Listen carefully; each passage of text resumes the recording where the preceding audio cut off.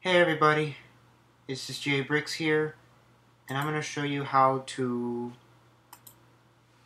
In this video, I'm gonna, in this video, I'm going to show you how to add the Ivy voice into the new Vyond Studio Maker.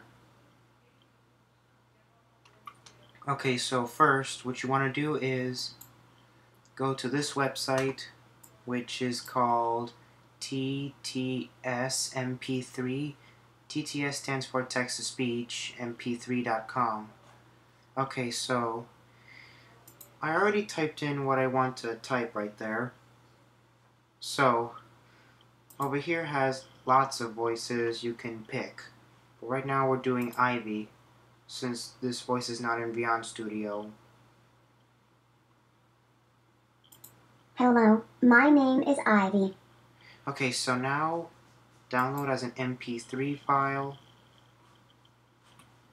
Go to Vyond Studio. And then I'm going to upload the voice to...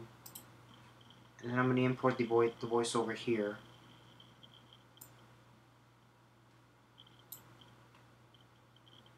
Bam. Okay, so now I click the character.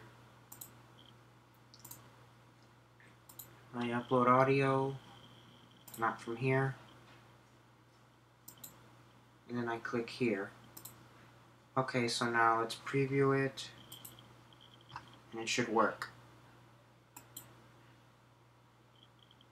Hello, my name is Ivy. There we go. So there you have it. The Ivy voice in Vyond Studio. That's it. Make sure you subscribe, thumbs up, comment, and like my videos. Bye-bye. Jay Bricks is out of here.